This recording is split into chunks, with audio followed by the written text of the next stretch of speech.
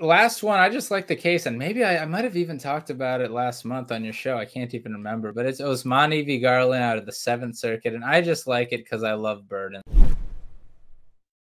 And I'm not going to get into everything, but essentially, Mr. Osmani was applying for adjustment of status uh, the refugee adjustment of status based on Section 209, which has been coming up a lot in the circuits and at the board recently. I don't know what it is. There can't be that many Section 209 refugee adjustments, but like it seems to be what all the circuits are publishing on in the last two months. And the board has published twice on it at least. But anyway, Mr. Osmani, um, the immigration judge denied a, a 209 adjustment as a matter of, of discretion.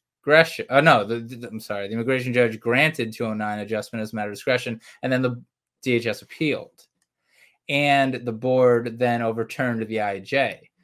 And then, unfortunately, they deported Mr. Osmani, but now they got to bring him back because the Seventh Circuit remanded the board's overturning. And this is what I like about it. It's because ICE, before the IJ, didn't take a position on his waiver didn't say we don't believe he warrants a waiver as a matter of discretion. Uh, I'm sorry. Does, ICE didn't say that Mr. Osmani didn't warrant adjustment as a matter of discretion. I think they just said, uh, we've made our position, judge, you decide.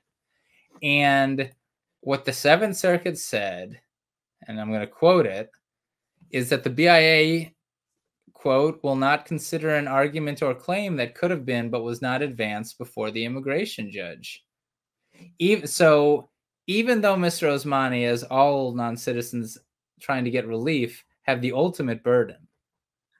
If ICE doesn't take a specific position before the IJ, essentially, if ICE doesn't say, you know, Judge, we don't think he warrants it for this reason, then it would seem, based on Osmani, ICE can't change their mind on appeal.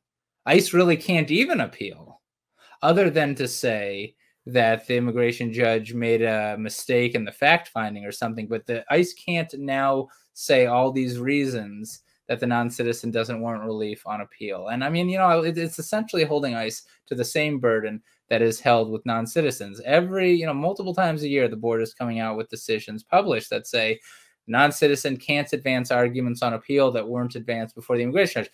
Often in the particular social group context where, you know, they come out with 15 new PSGs on appeal and you only put five forward before the immigration judge.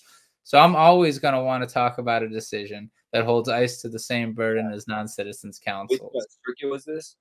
This is the seventh, and it's Osmani v. Garland. Okay, very interesting. That is important. The, the equality and how they do this instead of these double standards is always news.